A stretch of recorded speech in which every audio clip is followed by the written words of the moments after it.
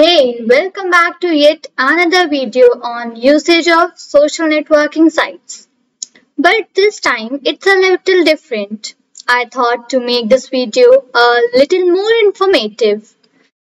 So I thought to tell you about a good platform for executing your codes and introducing you to some basic libraries. So let's get started.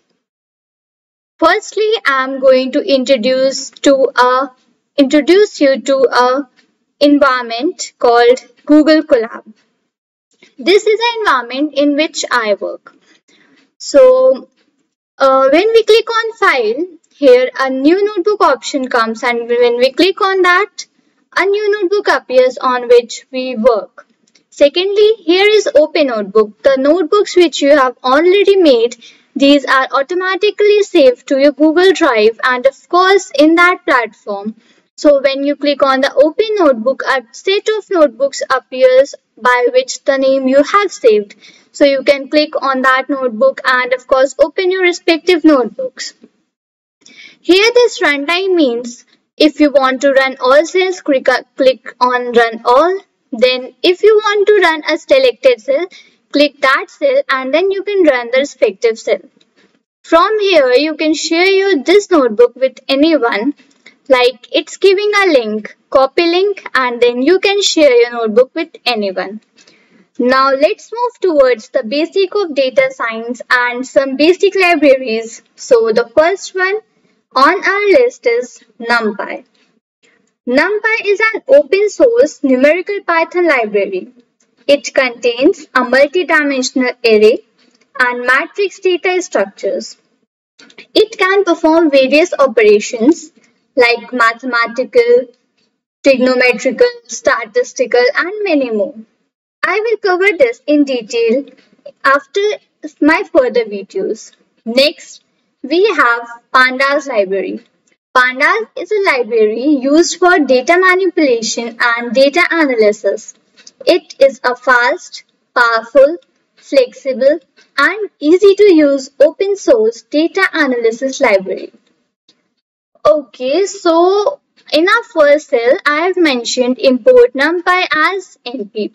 This means we are importing the numpy library with a short form named as np. Secondly, import pandas as pd. It means we are importing pandas library with a short form of PD. And third, I had used Plotly Express library. I will discuss it in further videos. So we are importing plotly.express as PLT. Now in the second cell, I have mentioned df. df, we have given df name to our data frame, whatever data we have used. So the syntax for reading our data is df is equal to pd. Here pd refers to the short form of the pandas library. pd.read CSV. Now what is CSV?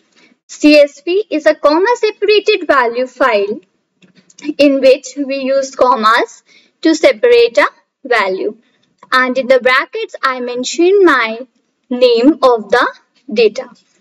Next, we I had written df. df, singly df is used to uh, represent all the data whichever I had stored in my file name indiausage.csv. So my this file contains two columns apps and usage.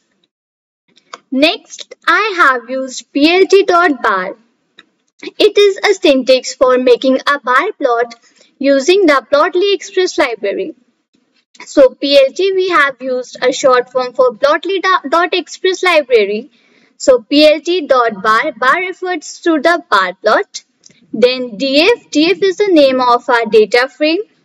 In x axis, we want to name the apps and in y, we want to name the usage. Then I used color is equal to apps. Here I used a different colors for all of the apps and if you want you do not mention this then all of the bars which are shown here will represent a single color. And text is equal to usage. I want to I want to see that how much population use which social networking site.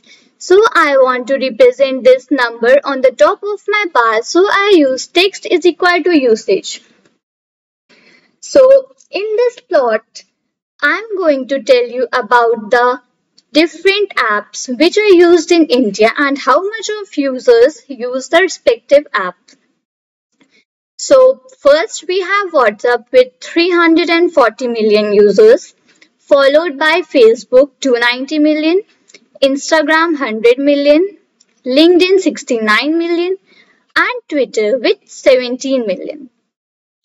So I hope you all got to learn a little about the libraries which I used and of course the environment which I prefer for using this.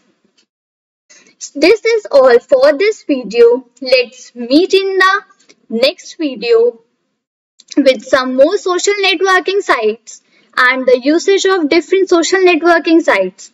Till then, thank you and bye-bye.